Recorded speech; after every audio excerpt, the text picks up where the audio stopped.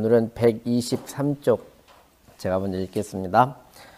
우알역자는 이름 일양지 위하니 진태는 시교자야람 고로당 조석지 위하고 감리는 교지 극 자야라 고로당 차우지위하고 손가는 불교의 음양이 유자별아 고로 당 용중지 편하고 건고는 순양 순음야라 고로당 부룡지위아니라 거기 그 서산채 씨왈 줄을 쭉 읽을 테니까 토를 좀 달아보세요. 네. 서산채씨왈 차일절은 논음양하야 이역위로 위교하님 양본제상 음본제하야. 가는 일양이 제상하고 소는 이름이 제하고로 온 불교요 지는 일양 제하고 태는 이름 제상고로 위시교요. 감은 양제중하고 이는 음제중구로 위교지 극이람 주는 양지시고로 진거지하고 주는 음지시고로 태거지요. 하는 양극 음생고로 이거지하고 동은 음극 양생고로 감거지람. 가는 일양 이음이요 소는 이양 이름하야 유유용이요. 거는 순양 고는 순음하야 불비용이람 동방은 위양 주용하고 서방은 위음 불용이람 고로 건군이 거서우하고 간손이 거통무야람 건간 위양이요 군손 위음이니 북위지지양이요 남위지지음이라. 고로 건간이 거부구이 손고니 거나무야람 우알 역자는 이름 일양지 위하니 우리 이제 역이라는 것은 이렇게 계산을 하시면 돼요. 일음지 일양지 한 번은 음이 됐다가 한 번인 양이 되는 거 음으로 음이 됐다가 양으로 바뀌는 것을 역이라고 한다고요. 일음 일양지 사실은 일음지 일양지에서 지자 하나 생략한 그런 꼴이에요. 그래서 역이라는 것은 한 번 음했다가 한 번 양하는 것을 말하니 진태는 진은 진하련이고요. 그죠? 태는 태상절이에요. 진과 태는 시교자야라.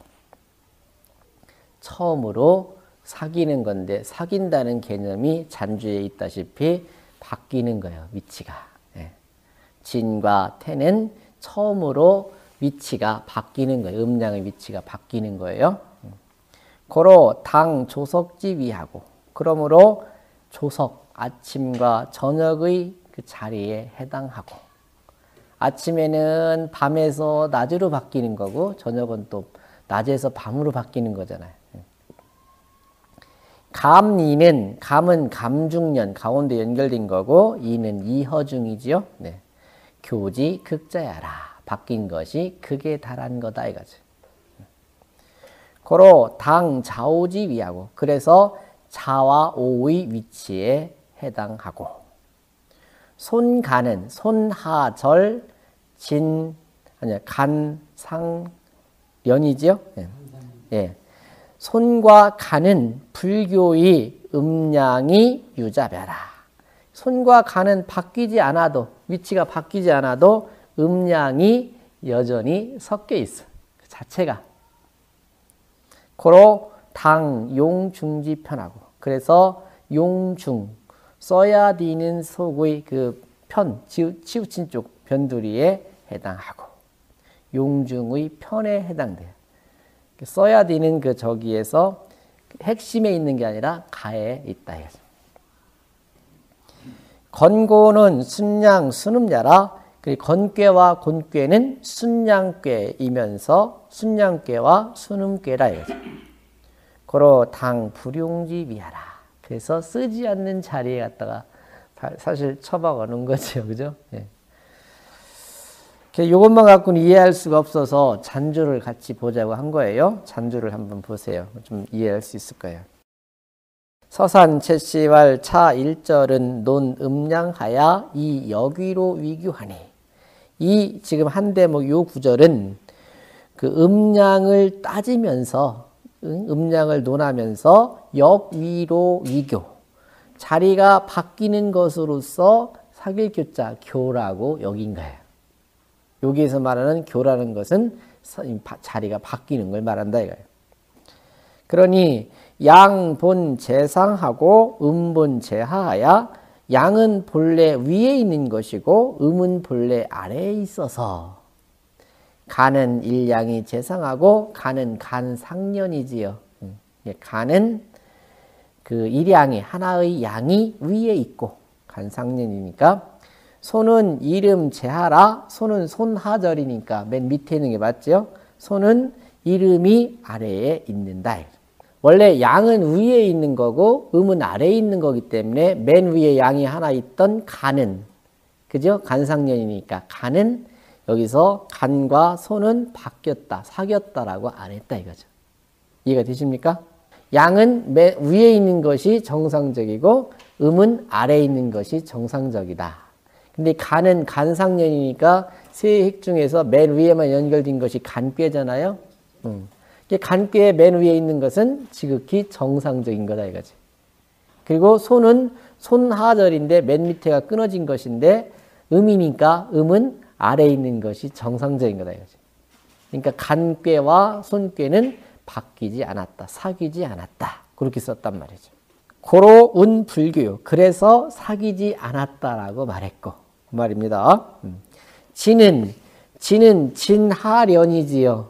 그건 뭐예요? 진은 양이 맨 밑에 하나 연결된 거잖아요. 양은 본래 위에 있어야 되는데 맨 밑으로 내려왔네요. 그렇죠? 바뀐 거죠?